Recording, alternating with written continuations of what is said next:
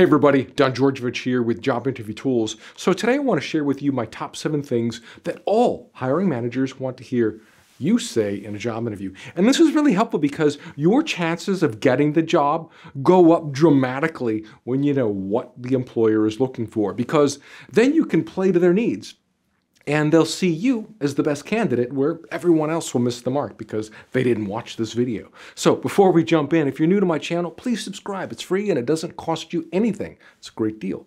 But before we jump into the seven things, the first thing you want to do before your interview is research the company so you understand what they do, who their competitors are, and any current press about them. I mean, maybe they just released a new product that cures cancer or whatever. The point is to educate yourself on them because the more informed you are on them, the better you're going to look in the interview. Make sense?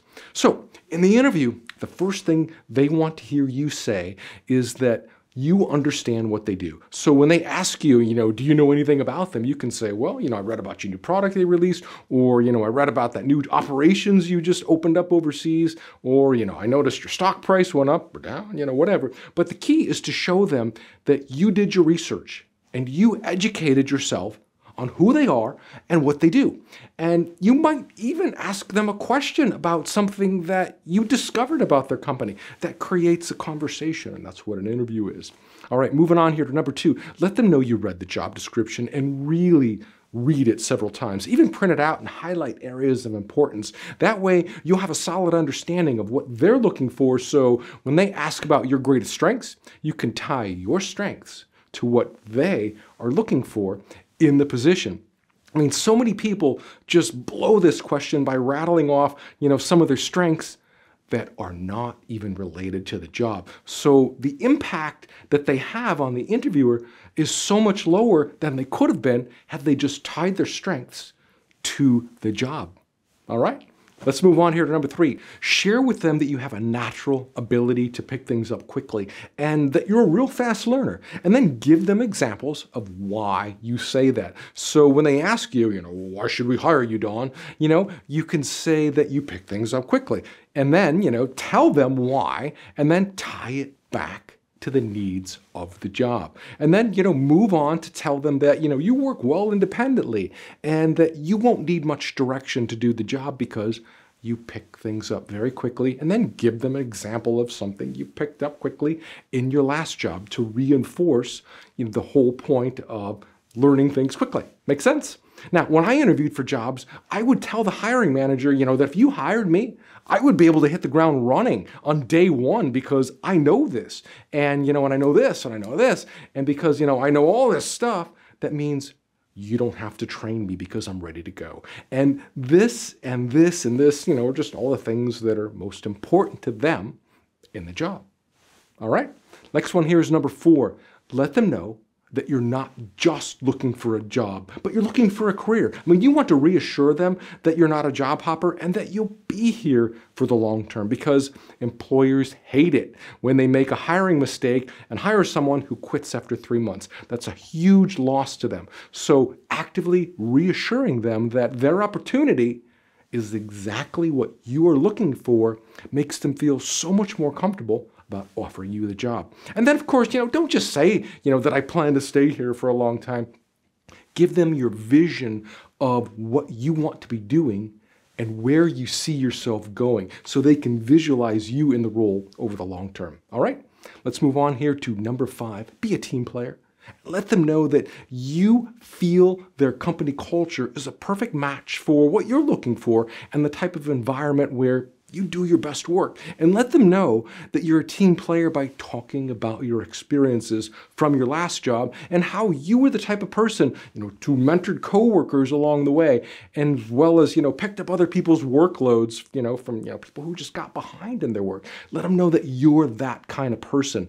That's what a team player is. They don't let the team down.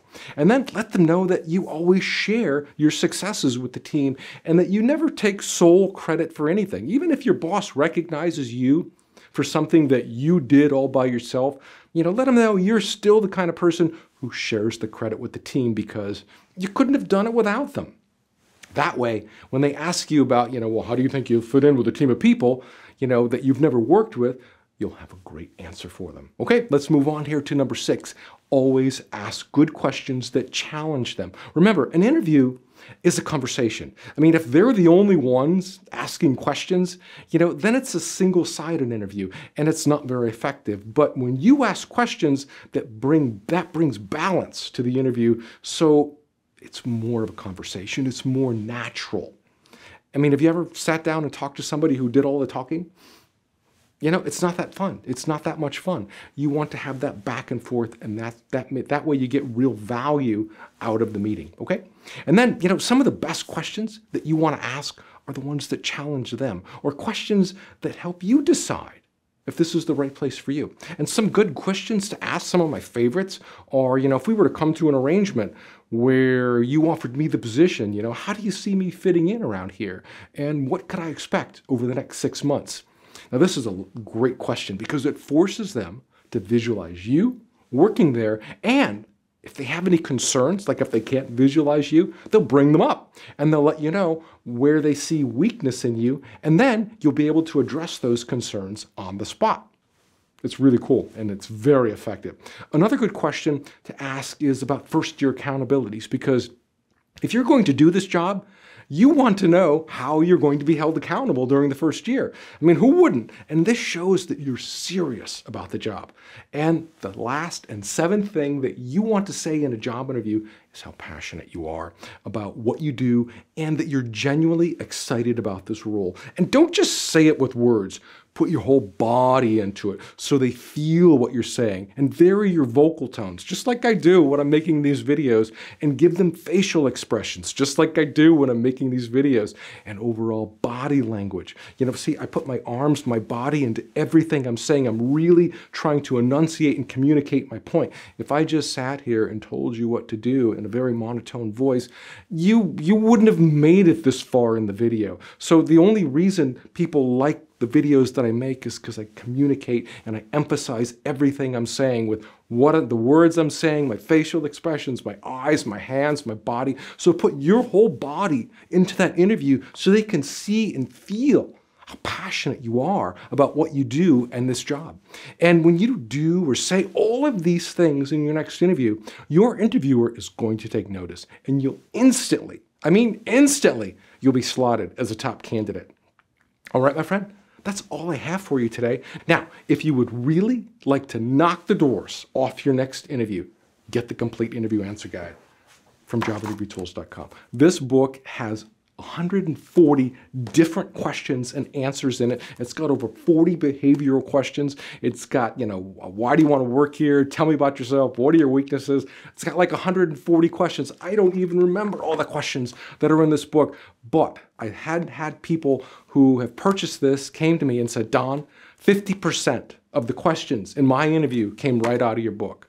Someone else told me 100% of the questions from your book were in my interview. Now, I have had employers buy this book and use it as their interview guide, so maybe that was one of them. But usually, you know, 30 to 40% of the questions that you're going to get on a job interview easily at a minimum, are going to come out of this book, guaranteed. Now, you are going to get some technical questions, you know, like, you know, if you're in the medical field and they're asking, you know, how do you do a diagnostic procedure on the such and such machine? Obviously, that's not going to be in here. This is designed to teach you the more common questions, but more importantly, how to structure your answers so that if they ask you a technical question you know, about engineering or science or medical or you know automotive whatever they ask you a technical question that relates to your abilities, this guide is going to give you the framework for structuring your answer so that you can give a great answer. So even though it has 140 questions in here, it will teach you and prepare you on how to answer, you know, thousands of different questions all by using the right framework. And the cool thing about this guide, you can download this in ebook format. It's like 50 bucks. You can get it right now if you want it. It's also, and it comes in audio and video format. So if you learn better by watching videos or listening to audio tracks, you can download all of those tracks, put them on your phone or wherever, take me wherever you want, and you can study that way. And also, you know, for the old school people who like the physical hard book, I can ship this out to you as well. And I believe this is the only book, the only interview guide on the planet that is available in all three of those formats. And the cool thing about that is, um, it's also supported by me. So if you need help, you get stuck on a question, you need some advice, you can always shoot me an email for help. And that's only for people um, who have the book. So get this book. I mean, this is a no-brainer. You get this book, you're going to pass your interview. I mean, that's all there is to it. Hands down, this is one of the best books that there is. And and that, my friend, is really all I have for you. I wish you the very best on your next job interview. And I know you're going to ace it. I know you are. So take care. And if you found this video helpful, please give it a thumbs up. And that helps me understand the kind of content that you like so I can make more of it. And subscribe. That way you'll get notifications every time I release a new video. We'll see you next time. Bye-bye.